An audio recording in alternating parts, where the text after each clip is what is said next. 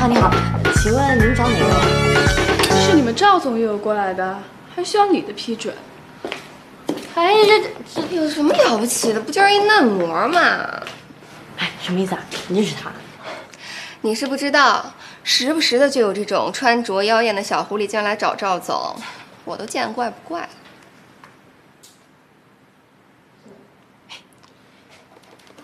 这个披萨，我帮你拿给赵总。嗯。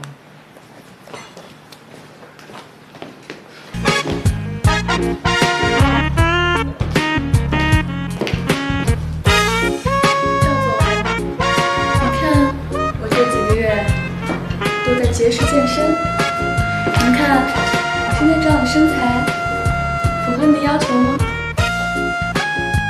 进来，什么事？这可是 Lucy 精心给你制作的披萨，专门让我给你的。出去吧。赵总，虽然说这个看着不错，但是呢，这是个人哈。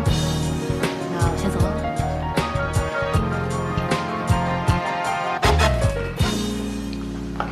哎呀，真的太恶心了！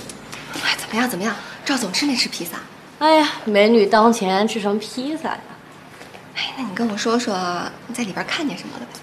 嗯，不告诉你。你就告诉我吧，急死我了。这样，明天我给你做一个蛋糕。嗯 还是不要了吧。哎，要不然这样吧，你答应我不再拿那个石头一样硬的东西来给我，我就告诉你。嗯，好，我答应你。我跟，你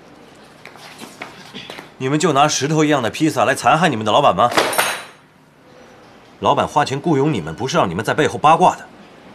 Lucy，去拿份合同，通知广告部的主管与模特签约。签约模特，所以说他是他是我们公司的代言人。是的，不然你认为呢？哦，我还以为他是你的那个。啊，丑女人在美女面前自然会有自卑感，自然会带着嫉妒心理去揣测身边的事物。我哪丑了呀？我可是要身材有身材，要长相有长相。你，说一句实话，也不怕伤你自尊。这世上百分之九十的男人都不会对你有任何的非分之想。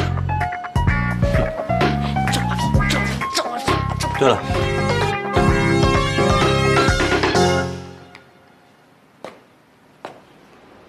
新婚旅行的私人定制资料，好好准备一下，明天出发。还有，在背后给老板取绰号，不会有好果子吃，知道吗？还有，交代你去找哈乐旅行社辞职的那个导游有下落了吗？哦，我想起来了，呃，他们说他去外地工作了。哎，不过赵总，其实呢，很多人都希望被救的那个人啊健健康康的，不需要感谢的。你怎么知道是救人？还要感谢？这些都是谁告诉你的？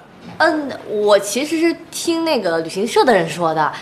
哎，您别管了，有什么事儿我会告诉您的啊。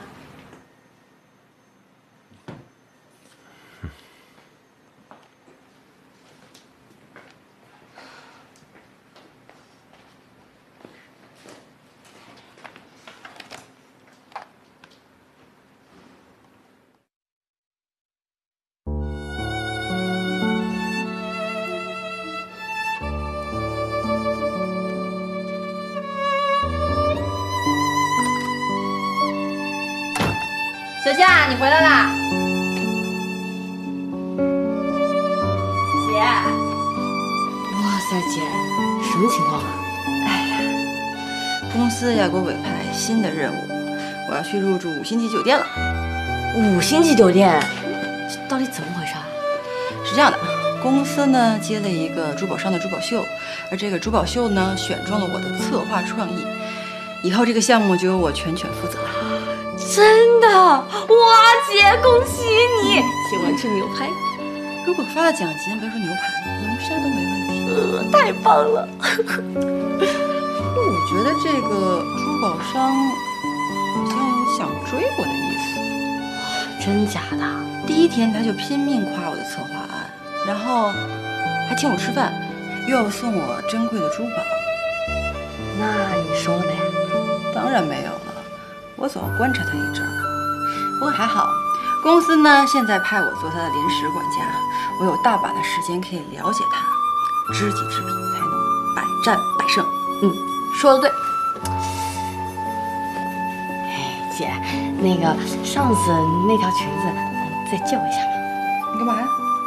啊，我主要是就是明天呢，我有一个旅行，呃，策划现场得去一趟。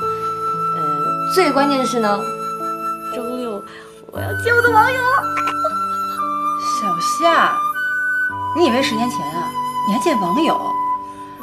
你是不是第一次亲密接触看多了你？姐，你看你想的，嗯是树洞先生，不是别人。哎，你就见我，见我。哎，我认真的跟你说，这个社会，青梅竹马都已你是一定会被骗的，你知道吗？哎，你看你想的，我就是好奇，你说认识了这么久，又有共同兴趣爱好的人，到底是什么样的？好奇。如果你一见面，发现他是一个又老又丑的大叔，他是个恐龙，你还好奇吗？你还继续聊啊？姐，你不懂，我对他的感情还是挺复杂的，就是像女生对另一半的期待，更多的是依恋吧。就算它是恐龙，我也会保持联系的。这儿好好看啊，老公，我觉得也不错。好漂亮！哎，那儿好好看，快，湖边餐厅哎，找什么？我找我的防晒霜。嗯，天哪，不会是没带吧？哎，还真有哎，防晒霜、护手霜、唇膏、眼药水、纸巾，老公你全带了。对呀嗯，老公你太好了。嗯。你说你这么笨，以后没有我不怎么办？嗯，就是遇见你之后变得越来越笨了吗？既然这样的话，那我就一辈子黏着你，一辈子不累，好不好？你说的，一辈子都黏着。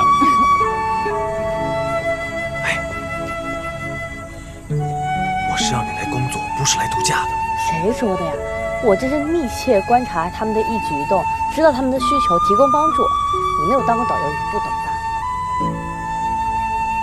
哎，你看，他们多幸福呀，能有一个相爱的人陪伴，真好。告诉你，那些都只不过是人性的一面而已，人性的另一面呢，只是你现在看不到他们之间的欺骗、背叛和争吵。所以你也是双面人啊？你这人怎么那么刻薄呀？就不能内心充满点阳光吗？算了，这个说不通，去找他。哎哎哎，